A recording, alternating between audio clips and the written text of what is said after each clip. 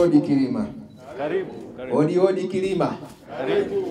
Ndugu zangu, nimefarijika sana kufika katika eneo hili la Kilima kuja kujionea shughuli mbalimbali ambazo zinafanywa na wizara yangu chini ya idara kuu ya maendeleo ya jamii na hususan katika makazi haya ya wazee na wasiojiweza. Nianze kwa kupongeza sana uongozi wa mkoa chini ya ofisi ya mkuu wa mkoa kwa kazi kubwa na nzuri ambayo ameweza kuifanya katika maeneo ya Hongera sana. Tangu leo tuko katika shughuli moja na wala hatuhitaji tukaongea maneno mengi sana. Makazi haya ni makazi ya wazee na wasiojiweza. Tumepata fursa na baadhi ya wazee wetu wako hapa, na nani na nyinyi mmewashuhudia. Mwenyezi Mungu ametujalia sasa hivi nchi yetu tunapiga hatua, ingawa wengine hawaoni, lakini nchi yetu inapiga hatua. Wale wenye umri mkubwa kidogo watakuwa wanatambua.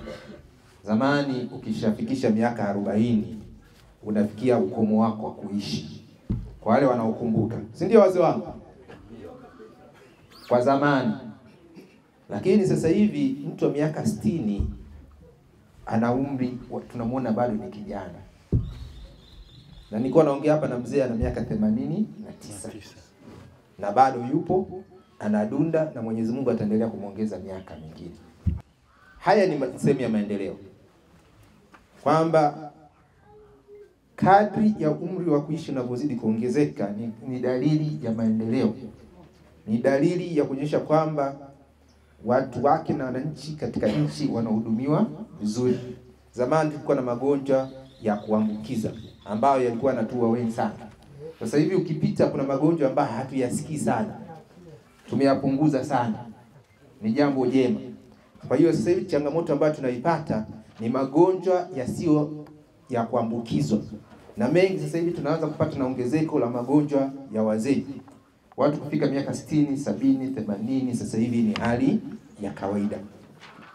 Na sisi wote hapa, Mwenyezi Mungu akitupa uhai, wote ni wazee watarajiwa, kama serikali na jamii kuhakikisha kwamba tunaanza kuyaandaa haya makazi.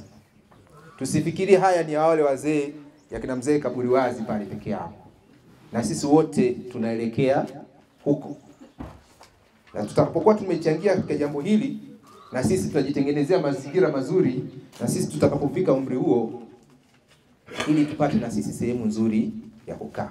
Mimi nadhani tuliangalie kama mtazamo huo, lakini sambamba na hilo, kwa nini na mimi niko hapa? Wizara yangu inaitwa Wizara ya Afya, Maendeleo ya Jamii, Jinsia, Wazee na Watoto. Kwa hiyo hapa nasimama katika maeneo makubwa mawili. Kwanza, makazi haya ni makazi ya wazee, sisi kama wizara tunayasimamia moja kwa moja. Lakini la pili, nimekuja hapa katika shughuli ya maendeleo ya jamii. Idara kuu ya maendeleo ya jamii ni idara nyeti sana, Mheshimiwa mkuu wa mkoa.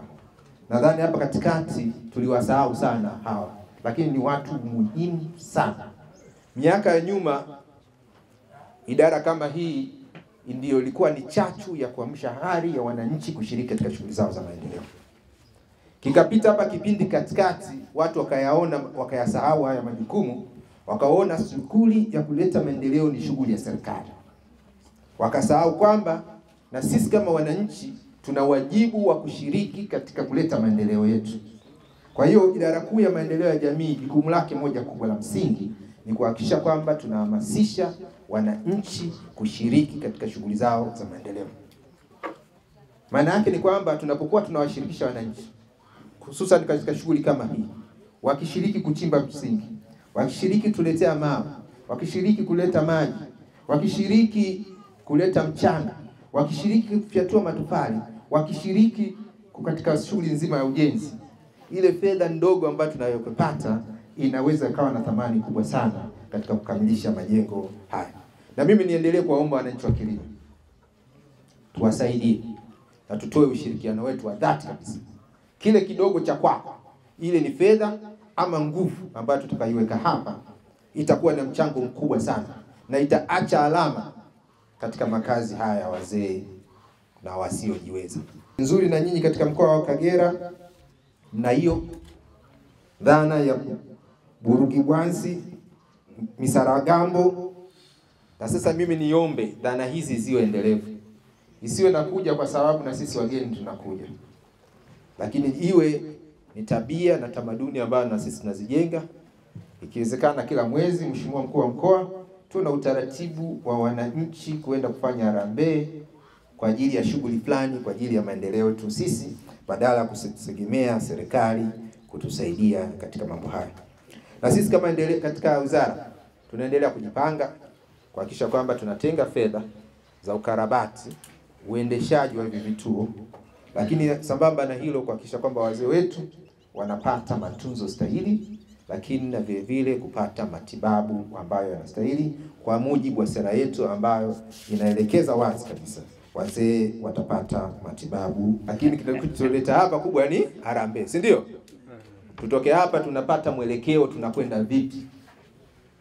Katika ujenzi wa nyumba za watumishi, hili hawa wahudumu wetu ambao wanafanya kazi nzuri, na mimi niwapongeze kweli, wanafanya kwa sababu mchango wetu hii kidogo hakika itafika mbali. Kwa hiyo naomba sana wale ambao wote watasimamia zoezi hili, basi waweze kusimamia kwa uadilifu na ukamilifu, kama nilivyoahidi kwamba tungependa baada ya muda fulani turudi tuje tuone hizi fedha zimefanya jambo gani, na badala ya kuwatumia wakandarasi tutumie nguvu zetu, ikiwezekana wale wengine ambao hawajatoa fedha taslimu basi angalau na sisi tuweke nguvu yetu na alama zetu katika kuta na misingi na bati ya jengo hili, ili wao wazee wetu na watumishi wetu waweze kuishi vizuri.